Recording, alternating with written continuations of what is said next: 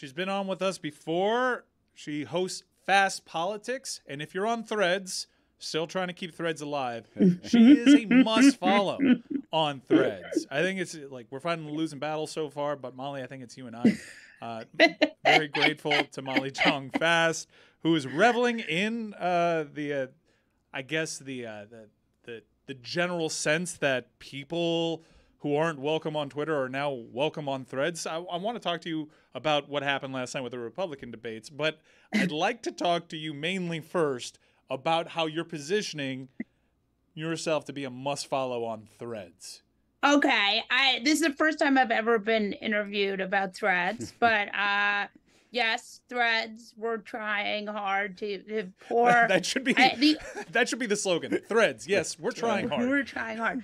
I feel bad. I feel like it's like the only thing that could make me like uh, Mark Zuckerberg is Elon Musk. Same. Same. Right? It found it found a way to make Mark Zuckerberg by comparison the likable one. Right, exactly.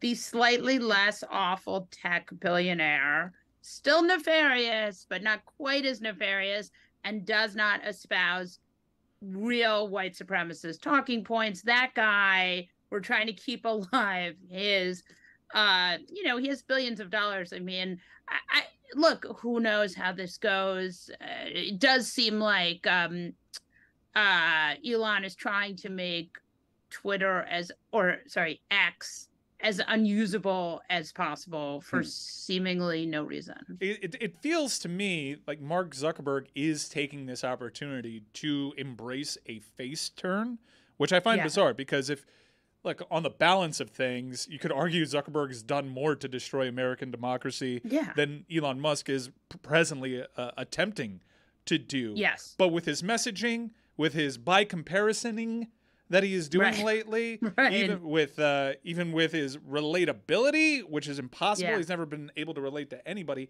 It does feel like Zuckerberg is keenly aware that there is a lane for him to get back in good graces.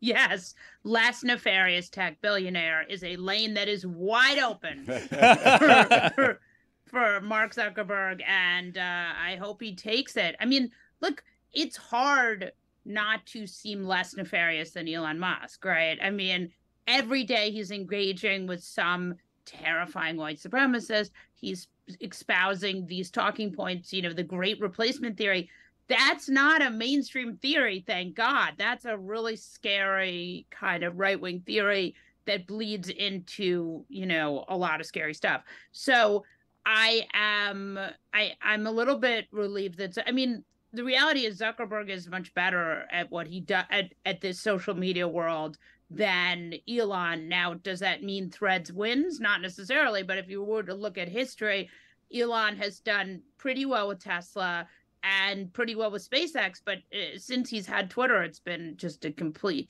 incomplete free fall. Switching gears now to what happened last night, and at the conclusion of this show, I'm literally hopping on a plane to get out of this country because you mentioned the word relief, and I, I do, I have found relief in the last couple of years that I, have gotten away from the day in and day out of what did he do now? How did he embarrass our mm-hmm. country now? But I did not, even though there were debates last night that didn't feature like the biggest trigger for me, which is Donald Trump. It included several triggers, and it seems as though uh, no one really took the opportunity presented to them. From what I'm reading, and maybe you can tell me different. I don't know what the vibe is on Threads right now. Uh, it seems like nobody really took the opportunity that was presented to them, which is use this opportunity without Donald Trump in the room to separate yourself a little bit not be a coward, and, and try to disassociate yourself from the, the, the general direction that the Republican Party, if we can even call it that anymore, is headed in. Who succeeded last night? Who failed? Did everybody fail? Uh, so I would say that the big winners last night were Vivek, and not because he's great, but because I think he he illustrated a really important and interesting point, which is that the only person who is going to take the Republican Party away from a complete charlatan, a charismatic uh, salesman, is another charismatic salesman. So you know, you had all these fancy Republicans, uh, the sort of elites saying, no, it's all about policy. We just run this guy who's also even more right wing, Ron DeSantis, a sort of less charismatic mimeograph of the OG, and uh, will win. But it turns out that the base does not care about policy at all. This was never about building the wall. This was merely about getting these guys excited. And Vivek is able to do that in the same way Trump was. So, do I think he's going to be the nominee? Absolutely not. But do I think that there's a lesson there with this Republican base that they are susceptible to that kind of charlatan? Yes, yes, I do. How weird was it hearing Vivek use an Obama quote during his opening speech during the debate? and it was incredible. And you saw they called him on it, right? I, I, I was it Nikki Haley or was it? I think it was um, Chris Christie who called him on it.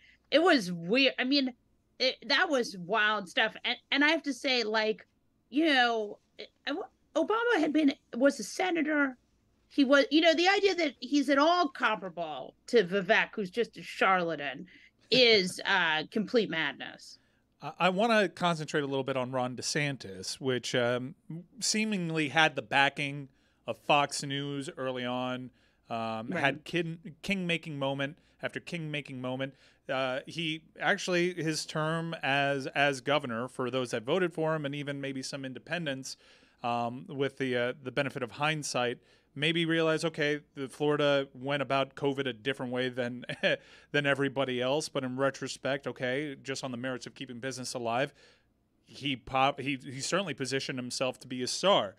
And ever right. since then, ever since he launched this presidential campaign, he has undone Ron DeSantis, the governor, to the point that he is actually laying down his, his shield a little bit and backing off from the Disney stuff. Has Ron DeSantis, with this at this point, failed presidential bid ruined his legacy as a governor. Yeah, and I don't. I, I, would argue that his legacy as a governor, first of all, COVID was a once in a life, and let's hope at least once in my lifetime pandemic. So the idea that all of a sudden that people should have immediately known, mm-hmm. you know, like they closed the playgrounds, like they shouldn't have closed the playgrounds, but nobody knew how it was, you know, that you couldn't get it outside or that you were much less likely to get it outside. I mean, we were the learning curve was like a just a completely sharp uphill. And so mistakes were made by many many people. And so i don't know that and desantis like killed a lot of old people. Yeah. so like the idea that this guy is somehow you know and did he i mean maybe he kept the public schools open slightly more slightly longer and look the schools should have opened sooner and maybe they should have never closed because younger people were not affected the same way as older people. But they didn't know that at the time and you didn't want to be wrong. You know you didn't want to have a room filled with dead children. I mean except when it comes to school shootings in which case republicans are fine with that. But um you didn't want to have a you know you didn't want to be wrong on that. And so people took an abundance of caution and and they were wrong on some things but i don't know how he does a victory lap. What i would say about desantis is desantis didn't win because he was uh, a great governor. He won because he was running against a terrible candidate who had been a republican 5 mm-hmm. minutes ago who was just a complete disaster and a democratic party that in florida had been completely decimated. So did he win by 10 points? Yes should he probably have won by one or two points? Yeah, like it's just not dispositive to take that victory and extrapolate from there. Uh, a lot of the candidates actually went after the teachers union and wanting yeah. to get rid of the uh, Department of Education. How's that going to help? I mean, that's like a GOP talking point that they're very excited about. They hate the teachers union. again, what we've seen, if the big problem is inequity, if the big problem is people not making enough, then a union is a solution for that. So I don't know how destroying the look, the teachers union was wrong. They should not have kept schools closed as long as they did. But again, this is one of these things. Hindsight is 2020. If we knew what the virus did back then, we could have said, no, you got to keep the schools open.